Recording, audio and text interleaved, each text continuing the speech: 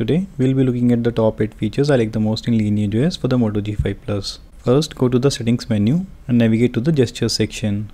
Now scroll down for the fingerprint gestures. In Lineage OS, you can customize the actions on the basis of gestures performed on the fingerprint sensor. In stock Motorola OS, you can use gestures but you couldn't customize them. Lineage OS takes it one step further and allows you to customize them. In Lineage OS, you can have complete control over your apps and what they can access. Go to the privacy section and click on privacy guard. You will see all your installed apps here. Click on any app to enable disable the privacy guard for that app. Once enabled, tap and hold the app icon to customize the privacy guard behavior for that app. Now this is the area where you can control what permissions a selected app gets.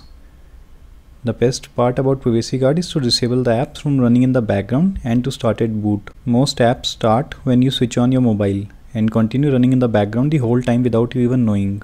They slow down the phone, consume a lot of battery and eat up your Wi-Fi bandwidth and mobile data. In Lineage OS, you can disable this behavior for all your apps.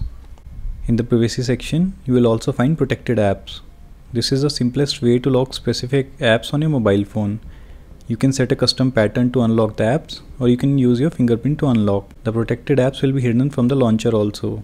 The best thing about this is it is built into the OS. Earlier we had to install third-party apps for this purpose. Now navigate to the display settings. Here you will find an option called live display. In live display you can enable disable the night mode and customize the color temperature for it.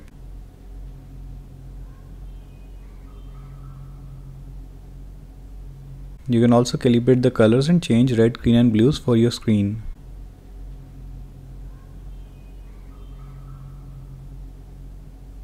Now go to the data usage section and click on network restrictions.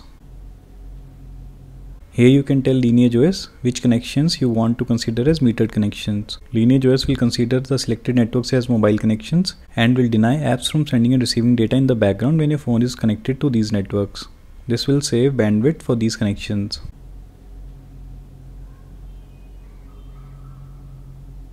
There are many apps and continue running after you leave the app, but LineageOS can kill any app when you want to.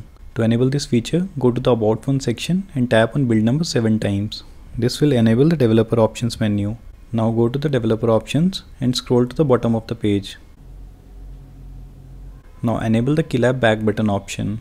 Now when you open any app, hold the back button and the app will be killed.